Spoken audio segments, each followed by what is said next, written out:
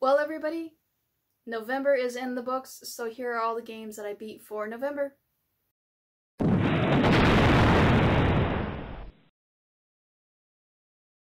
The first game that I beat for November was Guilty Gear X Advanced Edition. I liked the Guilty Gear port to the GBA. It was good. Uh, I recommend it to anybody because of the fact that they use the directional pad correctly and the triggers. So if you're into fighters and you're worried about the combos and stuff like that, how to like translate to a handheld, they did a good job. The story was good. I liked the story and I liked the ending. They gave you a good ending. And not only that, they also gave you some cheesy one-liners that the fighters did towards each other. And guess what? There's a game character named Dizzy. I keep getting blessed with characters named Dizzy, so definitely try this one for sure. The second game on the list was Saints Row Gat Out of Hell. Started this game last month on October and needed to finish it off, so I just went through and made sure that I finished off the missions. It's repetitive. Um, it's technically more of a DLC than it is a game, in my opinion, because you finish off the story from where you left off when you were in the ship for the second, well, the fourth game, I mean. The fourth game has you in the ship and you're trying to get through the story. So basically, you find out that the boss is being stolen by the Satan to have him marry his daughter. And the daughter is basically not really wanting to get married, so you have to be Johnny Gat and Kenzie and go find the boss and stop Satan's plan. You meet up with all four characters that are from history or from Saints Row history. And you get a power or a weapon from them, and then you use that to battle Satan at the very end. I recommend it to anybody who really likes Saints Row. Uh, for everybody else, play the main story. Don't worry about all the side missions. Don't worry about clearing the map. It gets repetitive and boring, and with all the powers and everything like that, everything's easy. So, I just recommend. Enjoy the story. Enjoy the musical. I was shocked when I first played this game back way back in the day. It is a musical. There's a lot of singing in this. I didn't expect that. Not everybody's a great singer, so kind of hit or miss. Some people don't sing very well, but I did enjoy having the boss and everybody sing, so recommend to anybody who is into musicals or Saints Row. Then I went back to a fighter, and that is Virtua Fighter 4 Evolution. It's a good fighter. I recommend it to anybody who is into fighters. Virtua Fighter hasn't changed their chemistry or their formula in forever, but doesn't matter. I like it. It's uh mechanics where you have to know how to block, when to block, and if you fall down, it really is not good. It's like getting juggled in Tekken. And basically, you have all these characters that are from the past, and their story keeps progressing. So I recommend to play this if you have it. If you don't have it on PS2, I know for sure you can find an emulation, and it's a good uh, time. They have a good story, and the endings are great. I like endings, they're good in fighters. I keep complaining, but it's sad when you only get uh, thanks for playing every time you play a fighter, so recommend this. The next game is an FMV game, and it's an indie game, so it's not terribly expensive. the reason why I say this is because there's a lot of bad acting in this game. A lot of bad acting. But there's a lot of funny stuff and hilarious parts to it. So you pretty much are a character who is a YouTuber slash entertainer on the internet and you decide to join the Battle Royale. And you think, oh, I could tap out at any point if I get shot or hurt, I'm okay. But they change up the rules last minute while you're on the plane and they say to you, hey everybody, guess what? It is to the death, just like real Hunger Games. And if you don't make it, oh well, like, uh, good luck. And so they send you out and you can win a chance to win tons and tons of money, but now you have ex-convicts running around, not only entertainers, so. I enjoy this. It was a good fun time. I'm glad it's cheap, so if you see it online, it's about $15, $20. Not that bad, so enjoy the story but don't pay a lot for it. Next is a horror game that I also started back in October and needed to finish for the next month, so it's Amnesia Rebirth. Amnesia Rebirth is just like all the other Amnesia games. You're walking around, you have lost your memory, don't know what's going on, but you find out throughout the story that you are a woman who was going to a site to dig up some artifacts, and during that flight out there, your plane catches on fire and you crash. You have to find out what happened to all your party, your husband, and to yourself because you find out throughout the time that there's a lot of stuff going on. So you have to go through and you start meeting all these creatures, and they kind of look like humanoids, kind of like the Descent again, where everybody looks kind of human but not. And you find out throughout your time the story that is kind of weird and not very scary in my opinion.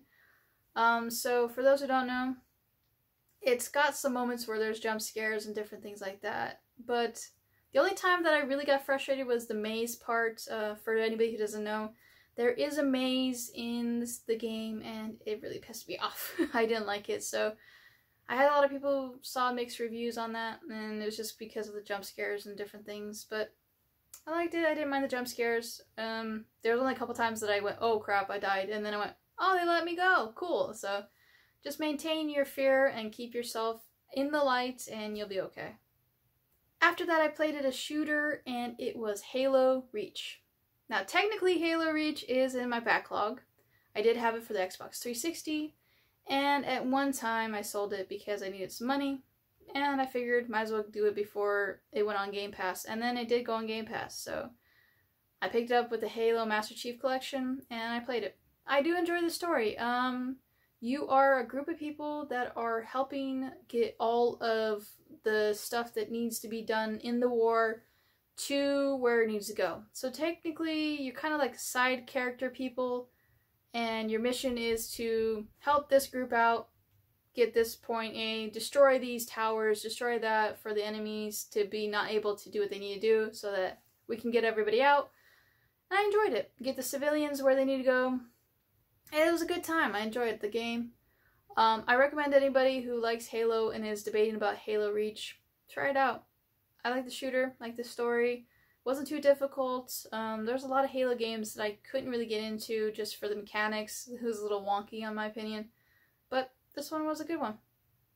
The next game is called Escape Academy. This one was also in my video games alphabet challenge you are a kid who goes to escape room to find out that you are being challenged by an academy, kind of like Carmen Sandiego, where you go to learn how to be a good thief. You learn how to be a good escape artist, and they use real bombs in the academy, which I was shocked. I was like, what if the kid is not great at it? You just blow it up half of the school. Kind of like Harry Potter, I guess. So, yeah, I enjoyed it. I recommend it before Game Pass takes it off of this list, please check it out. It's definitely a hidden gem in that little mesh of games in that list. I would recommend it.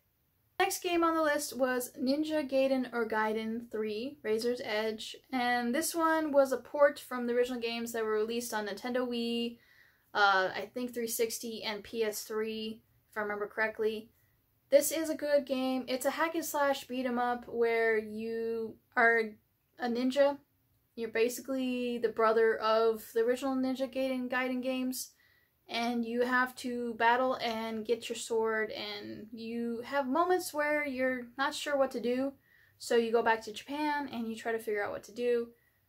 You figure out through Japan and all the, the seeking of whatever you're trying to find out, and you eventually battle a lot of different people who are you thought were your friends, so I recommend it. The story is amazing. A 10 out of 10 on this one. I have played a lot of Ninja Gaiden games, and it's very tricky to say the name when you say it several times. And this one is a great one, so I recommend it. Definitely find it on the list if you can.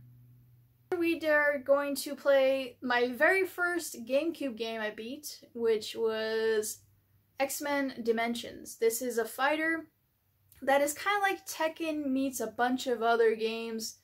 You pretty much are one of the X-Men and you have to battle all the evil guys or people that are through your X-Men group. And the one thing that is weird about this game is you could literally have the fighter that you're fighting go from winning to getting destroyed in five seconds because they do combos and the combo could like kick in with the AI and just like demolish you. I got knocked out with 33 combo that just destroyed my my health bar in 5 seconds. So I recommend make sure that you learn the powers of whatever your fighter is. I had Rogue, she absorbs powers or absorbs health and basically takes it from the other characters. So I learned how to use that for Magneto at the very end. I recommend it. This fighter, you can you can go from 0 to 100 in 5 seconds. So definitely a good fighter, just one that I don't recommend for people that are very frustrated easily. the following game was a game that looks like Puyo Puyo Tetris. It basically is another battle game where you are battling for magical drops. The game is called Magical Drop 2.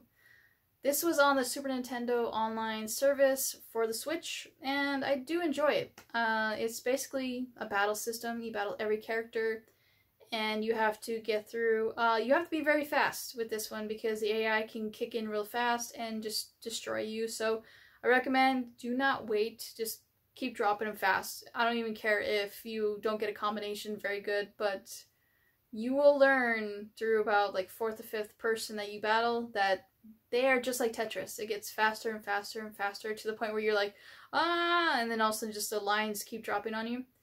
I enjoyed it. My character was hilarious. At the very end, you get to choose what you want with your magical drops. I guess you get a wish if you win the contest, and my character is like, I want clothing. And they're like, that's it? And she's like, yeah, I want clothing. So I had a fun time with this story.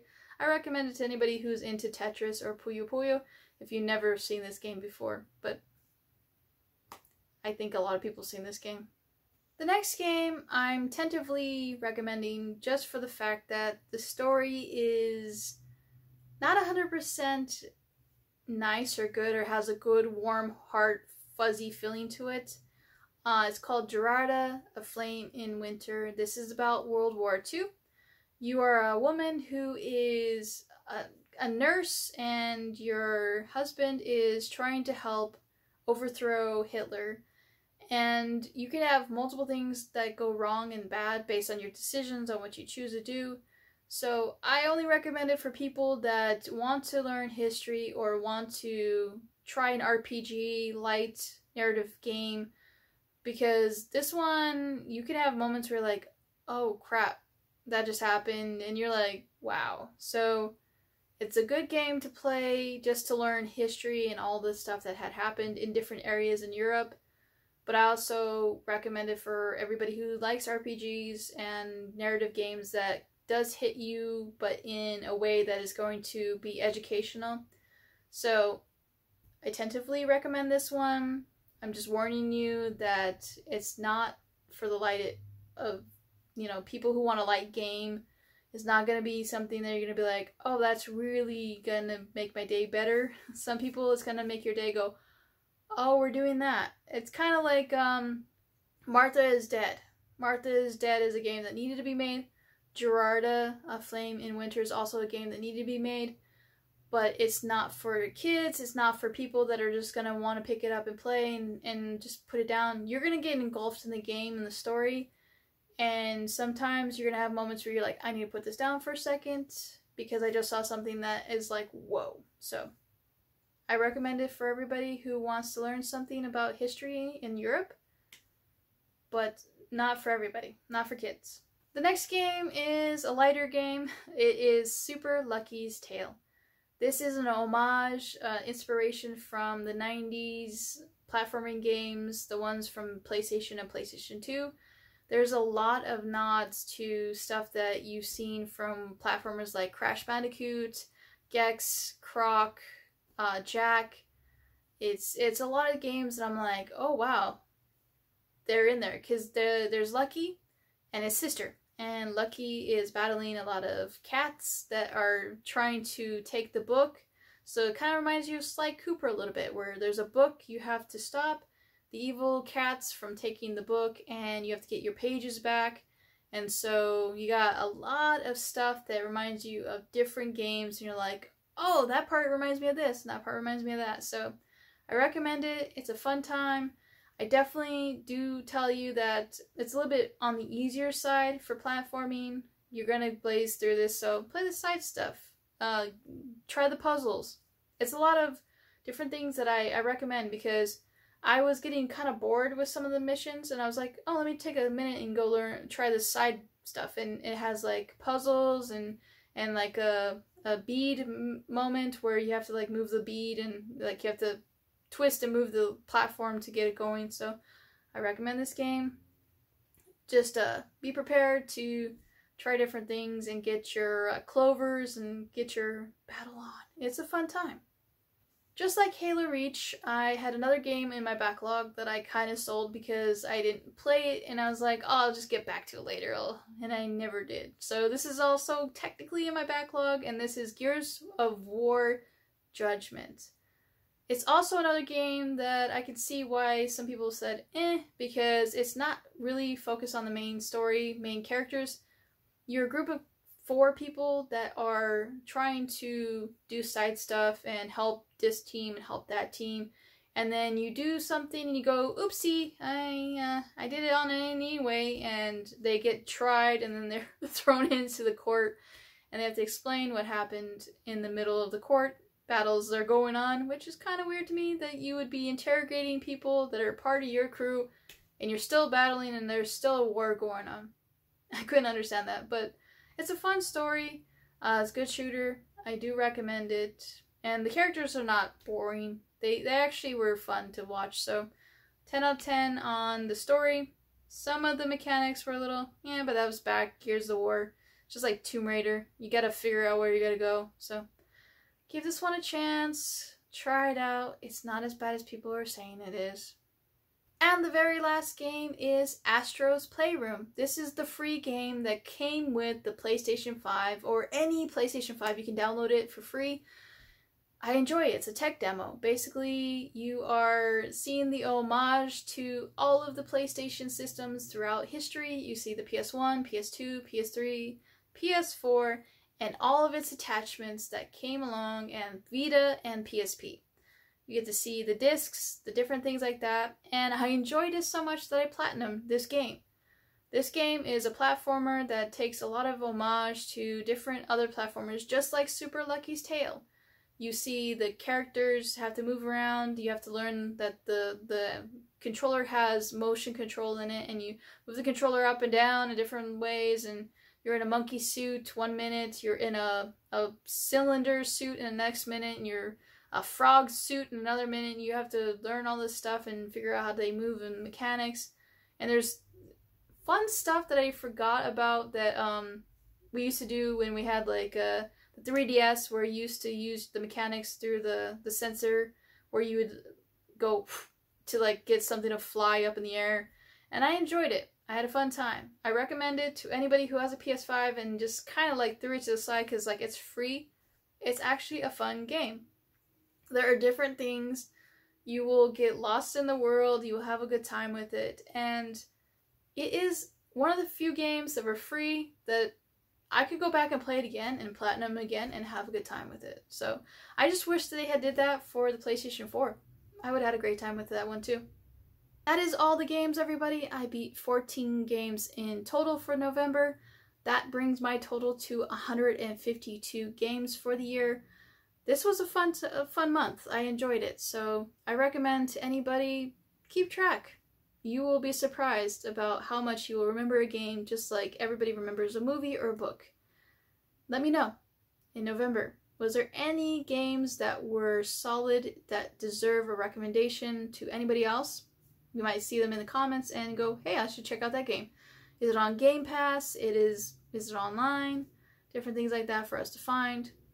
Please give this video a like and please check out some other videos if you are new. I hope you all have a great rest of your day. Keep on gaming and I'll catch you next video. Bye everybody.